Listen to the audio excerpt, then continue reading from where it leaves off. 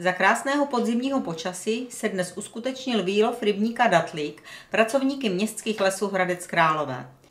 Výlovu přihlíželo mnoho diváků a hlavně pro děti to byl velký zážitek. Dokážete odhadnout, který druh ryb byl nejpočetnější? Ano, správně, byl to hradecký kapr. O čerstvé ryby byl velký zájem.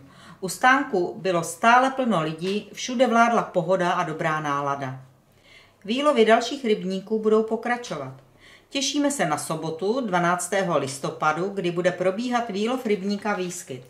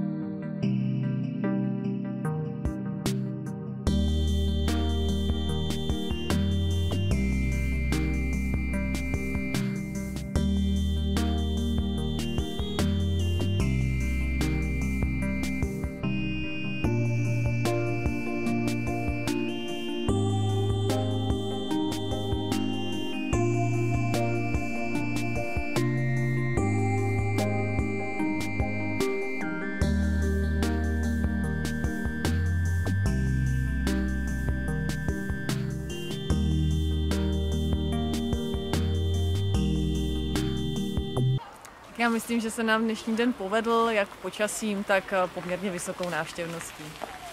No. A úlovky jsou, víme už.